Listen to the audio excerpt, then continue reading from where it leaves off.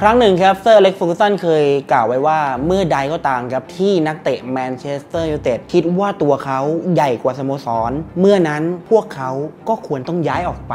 แล้วประโยคนี้ได้ถูกกลับมาพูดถึงอีกครั้ง เพราะว่าปัจจุบันมีนักเตะของปีศาจแดงคนหนึ่ง ที่กำลังมีพฤติกรรมทำตัวใหญ่กว่าสโมสร และคนคนนั้นที่ถูกกล่าวหาครับ ก็คือคริสเตียโนโรนัลโดครับ ซึ่งหลายคนเนี่ย คงรู้อยู่แล้วว่าดราม่าที่มันเกิดขึ้นเนี่ย มันเกิดขึ้นได้ยังไงมีอะไรมีบทลงโทษอย่างไร แต่วันนี้ครับกับขอบสนาม INSIDE เนี่ยผมอยากพูดถึงตำนานคนนี้ในฐานะที่เป็นแฟนผีคนหนึ่งที่เคยมองว่าเขาเนี่ยคือฮีโร่ของเหล่า Red Army แต่วันนี้ครับเขาได้กระทำบางอย่างที่ทำให้ใครหลาย ๆ คนต้องผิดหวัง ถ้างั้นเรามาเริ่มกันเลยครับ ย้อนกลับไปในซีซั่นก่อนครับ แม้ว่าโรนัลโดจะมีดีกรีเป็นดาวซัลโวของทีม แต่ลึกๆเนี่ยแฟนผีก็ต่างรู้ดีว่าฝีเท้าของโรนัลโดเนี่ยไม่ได้พีคเหมือนแต่ก่อนและเขาไม่ได้มีความเร็วทุกย่างก้าวของเขาเนี่ยมันดูช้าไปหนึ่งจังหวะเสมอ แต่ใครจะว่าพี่โดได้ครับ ในเมื่อคุณเป็นดาวซัลโวของทีมในซีซั่นนั้น พร้อมกับเป็นความหวังหนึ่งเดียวในช่วงที่ทีมผลงานย่ำแย่ครับ ทุกคนก็ต่างปกป้องตัวเขาเสมอ แม้ในยามที่มีกระแสข่าวมากมายว่า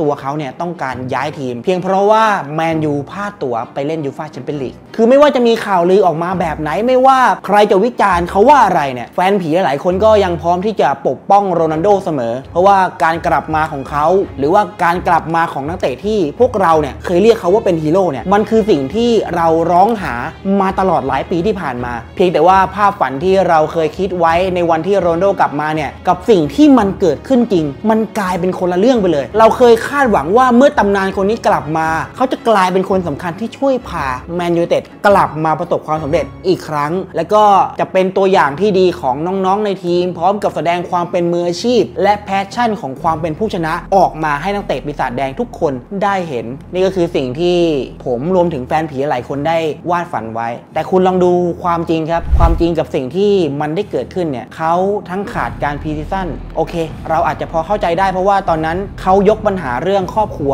ขึ้นมาเป็นเหตุผล ซึ่งเราก็รู้ดีว่าครอบครัวสำหรับโรนัลโดอะคือเรื่องที่สำคัญที่สุด แต่ต่อมาครับจู่ๆเขาก็ตัดสินใจกลับบ้านนะฮะในเกมที่แมนยูอุ่นเครื่องกับราโย บาเยกาโนเกมยังไม่ทันจบดีครับอยู่ดีเขาก็เดินออกจากสนามโอลด์แทรฟฟอร์ดกลับบ้านซะอย่างนั้นโอเคครับตอนนั้นเราก็พยายามที่จะเข้าใจได้ครับนั่นคือเกมอุ่นเครื่องรวมถึงก็ยังมีนักเตะคนอื่นที่กลับบ้านด้วยไม่ใช่แค่โรนัลโดเดี๋ยวเอริกเทนฮากก็คงเคลียร์ปัญหานี้เองครับคงไม่น่ามีปัญหาอะไรแล้วก็ปล่อยเรื่องนั้นผ่านไป แต่ต่อมาครับเมื่อทุกสื่อทุก tier ใหญ่เนี่ยต่างยืนยันว่าโรนัลโดต้องการย้ายทีม ตอนนั้นแฟนผีหลายคนต่างมั่นใจว่าเขาคงต้องย้ายแน่ในตลาดซัมเมอร์ที่ผ่านมา แต่พอตลาดได้ปิดลงเนี่ยไม่มีสโมสรไหนแสดงความต้องการอยากได้ตัวเขาเป็นพิเศษ หลายทีม หลายคนไม่กล้าพูดว่าโรนัลโดไม่มีทีมไหนต้องการ แต่มันเป็นเรื่องจริง ทุกๆสโมสรเนี่ยประเมินเรื่องค่าเหนื่อย กับอายุของเจ้าตัวก่อนสรุปเป็นเสียงเดียวกันว่า มันน่าจะเป็นดีลที่ไม่คุ้มแล้วนะฮะพูดง่ายๆว่ามีไม่กี่ทีมในโลกที่พร้อมจะจ่ายค่าเหนื่อย 5 0 0 0 0 0ปอนด์ให้กับนักเตะอายุ 37 38 ครับถ้าคุณไม่รักจริงๆคุณไม่จ่ายนะ ซึ่งแมนยูก็พิสูจน์ว่าเขาต้องการโรนัลโดจริงๆ และพอเมื่อตลาดปิดลงครับเขาไม่ได้ย้ายไปไหนแฟนผีก็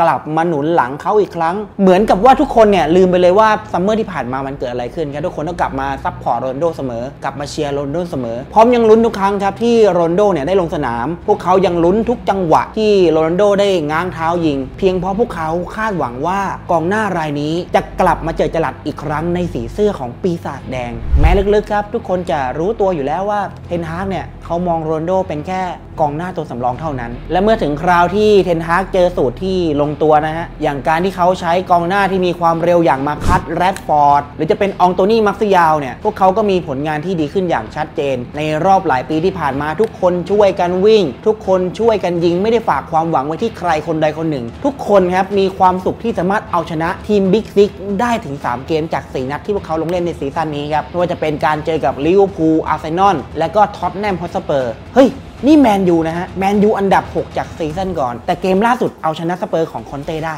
คือถ้าคุณมองเรื่องทีมสำคัญที่สุดเนี่ย คุณจะไม่แสดงพฤติกรรมอย่างที่เราเห็นกับโรนัลโดแน่นอน การที่จู่ ๆ เขาปฏิเสธที่จะลงสนาม แล้วก็เดินหนีกลับไปในอุโมงค์แล้วมันก็เหมือนเป็นการดูถูกสโมสร ดูถูกผู้จัดการทีม ดูถูกแฟนบอลรวมถึงเพื่อนร่วมทีมด้วย ผมไม่รู้นะครับว่าโรนัลโดจำได้ไหมครับในวันที่เขาฉลองการยิงประตูครบ 700 ลูกเนี่ยในอาชีพของเขา เพื่อนทุกคนครับในทีมปีศาจแดงเนี่ยต่างไปร่วมยินดีแล้วก็มีภาพถ่ายร่วมกันนะฮะอย่างที่ภาพที่เราขึ้นอยู่ นั่นคือสิ่งที่เพื่อนๆปฏิบัติต่อโรนัลโด แต่กลับกันในวันที่เพื่อนๆสู้จนเอาชนะสเปอร์ได้เนี่ยโรนัลโดกับหนีหายไม่ได้ร่วมฉลองไปกับเพื่อนร่วมทีม กลับบ้านเพียงเพราะเหตุผลที่ว่าเขาไม่ได้ลงเล่น ซึ่งทุกคนนะครับคงได้เห็นคำแถลงการของโรนัลโดแล้วนะฮะและซึ่งมันมีประโยคหนึ่งที่เขาระบุไว้ว่าแมนเชสเตอร์ยูไนเต็ดเนี่ย ต้องยืนหยัดในความสามัคคี ซึ่งผมก็อยากให้เขาย้อนกลับมาอ่านข้อความที่เขาพิมพ์ไว้นะครับ แล้วก็อยากให้เขาย้อนถามตัวเองว่า แล้วตัวคุณอะได้ปฏิบัติให้เห็นถึงความสามัคคีอย่างที่คุณระบุมาไว้หรือเปล่า เพราะว่าตอนนี้ทุกคนใน